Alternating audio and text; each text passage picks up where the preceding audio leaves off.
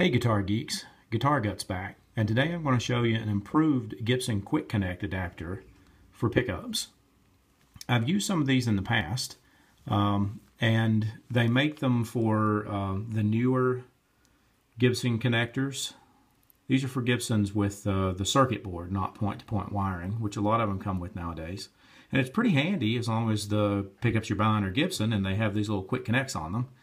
This is the newer, wider quick connect that just pushes in. There's no latch on those. They're a little bit more delicate than the ones that uh, they were using a few years back, which look like this. They had a little clip to hold to hold it in. Once you inserted it, it couldn't pull itself back out easy. And I've been using those. They're wired up the way Gibson um, wires their original ones. You got five wires going into the connector. Um, and, and, they work fine. You get them wired up and you're careful with them, they, they work absolutely fine. But I've recently discovered uh, a newer version of this. I was working on a guitar for a good friend of mine who's a great guitar player and wanted to put some uh, Seymour Duncan Black Winters in one of his um, Gibson Les Paul studios. Um, and we thought that would be a great idea. Opened up the back of it and found out that it was using the circuit board. Um, and in researching what to use for that, I found that the same guy that I've been buying the regular connectors off of, uh, his name's, he goes by EpiPlug, E-P-I-P-L-U-G.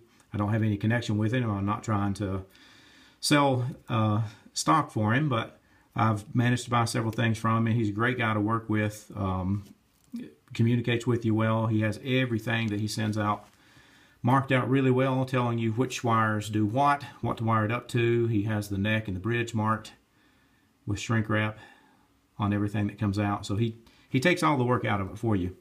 But I recently found out that he offers a different uh, quick connect adapter that's actually a little bit sturdier than the original.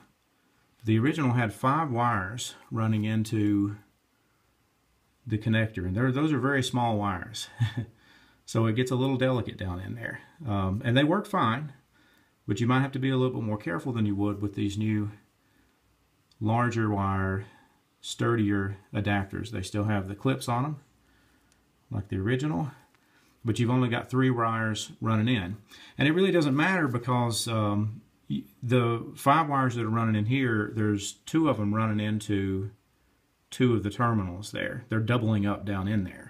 So what you're doing here is you're just doubling them up down here where you're making the splice.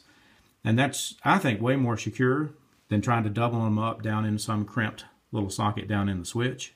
Way less likely to break off if this moves around a little bit. Uh, and if it, do, if it does, you haven't ruined the whole thing. You can just go back and uh, redo your uh, soldering where you've made the splice.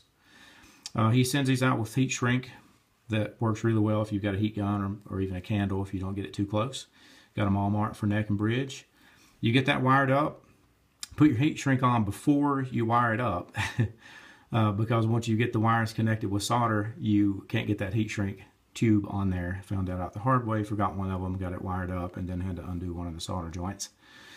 Um, but you get all that wired up and then it really is just, um, you know, you take your old pickups out by unplugging them, plug the new ones in, you're ready to rock and roll. If you end up not liking the pickups, um, five minutes, you got them back out of there. Um, these little things are handy once you get them wired up.